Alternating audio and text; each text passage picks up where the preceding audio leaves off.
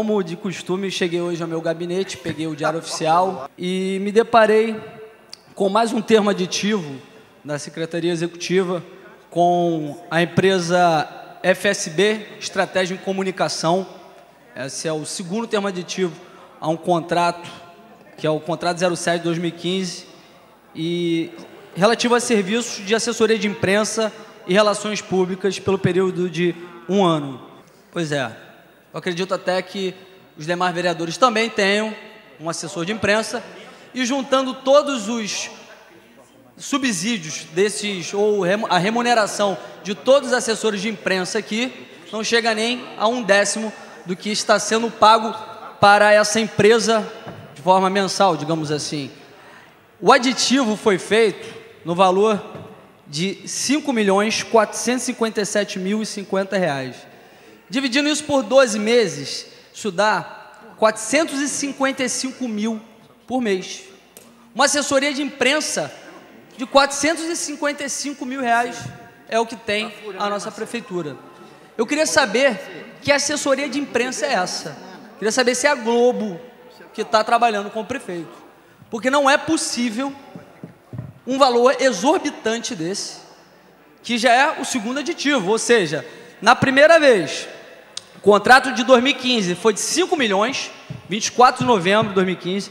O primeiro termo aditivo, no mesmo valor do, que, do qual foi feito agora, 5 milhões 457 mil e 50 reais, em 1 de novembro de 2016, e agora, publicado hoje, renovado, termo aditivo também desse mesmo valor, de quase 5 milhões e meio.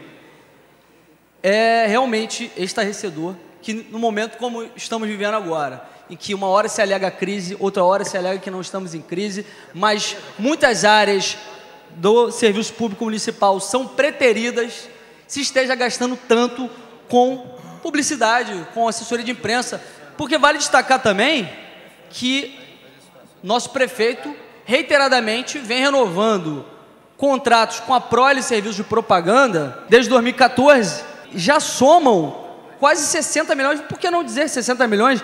59 milhões 650 mil desde que a Prole foi contratada por esse município para fazer propaganda e marketing. Só a FSB, com mais esse aditivo, são quase 16 milhões, 15 milhões 914. É gastar muito dinheiro do contribuinte com questões que não são relevantes para nós.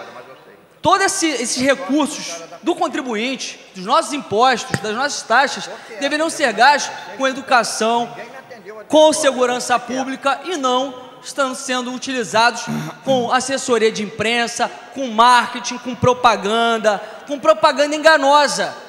Propaganda enganosa, porque o prefeito adora falar de transparência, falar que o município é excelência em transparência, que sempre vence os critérios da Controladoria Geral da União com nota 10 para ter transparência, mas a gente sabe que isso é uma grande mentira, uma grande balela porque ele não responde nem os nossos requerimentos de informações. E agora tem mais três requerimentos sem resposta que eu tenho que, de novo, falar a respeito disso. Porque parece que a população às vezes fica questionando: vocês não estão fiscalizando o executivo? Estamos sim. Ao menos eu tento. Requerimento 82 de 2017. Eu solicitei informações sobre a exploração do serviço de estacionamento rotativo nessa cidade. Enviei dia, no 28 do 6, aliás, a Câmara enviou para o Executivo no dia 28 do 6, já tem três meses sem resposta. E de acordo com a nossa lei orgânica, isso já estaria configurando crime de responsabilidade, porque ele tem 30 dias após o recebimento para responder. Requerimento 180, 2017. Informações sobre a relação de pessoal nos anos 2016 e 2017 da Secretaria Municipal de Desenvolvimento Econômico, Indústria Naval e Petróleo e Gás. 28 de 10 expirou o prazo para que ele respondesse. Também estou sem resposta e já configurando o crime de responsabilidade. Requerimento 238 de 2017. Informações sobre o Conselho dos Direitos da População Lésbicas, Gays, Bissexuais, Travesti, Conselho LGBT de Niterói. Enviei em 27 do 9, 28 do 10 também já expirou e até agora nenhuma resposta. Hoje, como de praxe, eu fiz também mais um requerimento de informações a respeito desse contrato dessa empresa que presta assessoria de imprensa, que é a empresa FSB Estratégia em Comunicação Limitada.